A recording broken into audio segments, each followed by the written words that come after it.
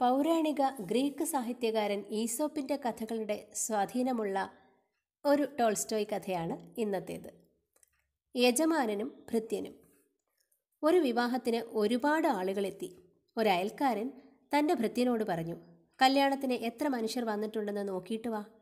ഭൃത്യൻ കല്യാണ വീട്ടിൽ ചെന്ന് വാതിൽക്കൽ ഒരു തടിക്കഷ്ണം വിലങ്ങനെ വെച്ചിട്ട് ആളുകൾ പുറത്തിടങ്ങുന്നതും കാത്ത് ഒരു ബെഞ്ചിലിരുന്നു. അതിഥികൾ പിരിഞ്ഞു തുടങ്ങി.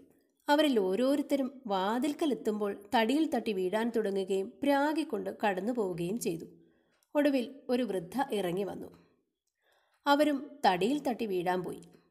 എന്നാൽ അവർ മാത്രം തിരിച്ചു ചെന്ന് ആ തടിക്കഷ്ണം വഴിയിൽ നിന്ന് എടുത്തു മാറ്റി. ഭൃത്യൻ യജമാനന്റെ വീട്ടിൽ മടങ്ങിയെത്തി. അവിടെ ധാരാളം ആളുകൾ ഉണ്ടായിരുന്നോ? ധാരാളം ആളുകൾ ഉണ്ടായിരുന്നു. പക്ഷേ മനുഷ്യനായിട്ട് എനിക്ക് ഒരു വൃദ്ധയെ മാത്രമേ കാണാൻ സാധിച്ചുള്ളൂ. അതെങ്ങനെ? ഞാൻ പൂമുഖത്തെ വാതിൽക്കൽ ഒരു തടിക്കഷ്ണം കൊണ്ടുചെന്നിട്ടു. എല്ലാവരും അതിൽ തട്ടി വീഴാൻ തുടങ്ങിയെങ്കിലും ആരും അത് വഴിയിൽ നിന്ന് മാറ്റിയില്ല. വെറും ആടുകളെ പോലെയാണ് അവർ. എന്നാൽ ഈ വൃദ്ധയാകട്ടെ ആ തടിക്കഷ്ണം അവിടെ നിന്നും മാറ്റിയിട്ടു. മനുഷ്യർക്ക് മാത്രമല്ലേ അങ്ങനെ ചെയ്യാൻ തോന്നുകയുള്ളൂ? അല്ലെങ്കിൽ മനുഷ്യർക്കല്ലേ അങ്ങനെ തോന്നേണ്ടത്?